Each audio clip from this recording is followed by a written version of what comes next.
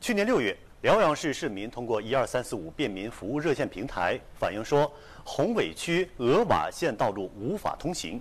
辽阳市宏伟区政府高度重视群众反映的道路通行难题，认真调查落实。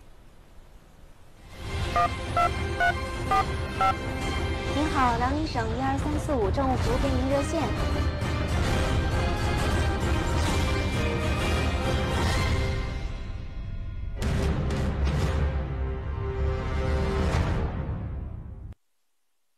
群众反映的鹅瓦线道路位于辽阳市宏伟区曙光镇，紧邻辽阳方丁基地产业园区，周围还坐落着曙光镇四个行政村六千多户居民。这条路吧，原来特别窄，就是乡把间能过一辆小轿车。然后那个我们这条路，呃，之前还总跑大车，然后路就就翻江，有很大很大的坑。道太窄了，就经现在道边的三轮了，就经有时候就错车了，就出了旁边去了。啊，倒没造成什么太大的危险，别老也有危险性嘛。额瓦县原路修建于二零零四年，路面宽七米，道路排水不畅，路面破损严重。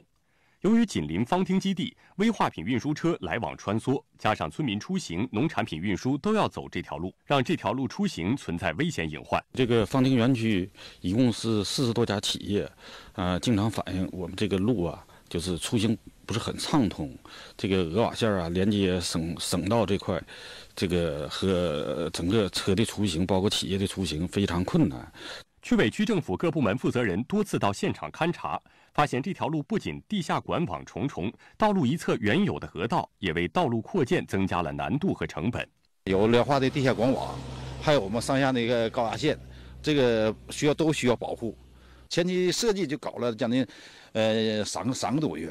然后我们在区委区政府，我们连续开了几次会，请专家进行论证，请相关部门进行共同研究这个东西。终于最后，我们把那个路径定下来了，再用一问河道。然后呢，呃，政府投资额也非常大，我们这条路前前后投资额将近达到了两千八百万。我们重新修了一千多米的挡土墙，砌了三百多米的石砌边沟，这个整个重新这个路面黑色路面。那个维修改造是三万六千平。在改扩建鹅瓦线过程中，区委区政府考虑到方汀基地企业需要，不仅将路面宽度扩建到十五米，还将鹅瓦线与方汀基地产业园区内部道路之间的漫水桥修建打通，使园区企业物流更加畅通。现在这修完道了，都宽宽敞敞的了。像我家来道边做买卖是吧？